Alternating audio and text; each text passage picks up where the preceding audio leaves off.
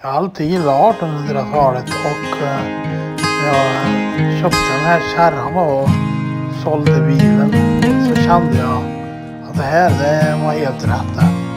Jag har ju inga bensinkostnader längre och det är ju som en tidsresa varje dag. Eh, det är snudd på underbart.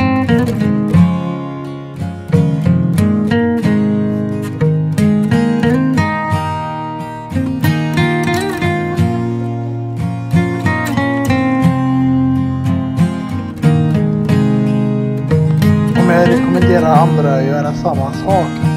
Ja, jag tror att det är det som behövs. Att livet ska ta en ny vändning. Och man ska inse att det är det här man lever för.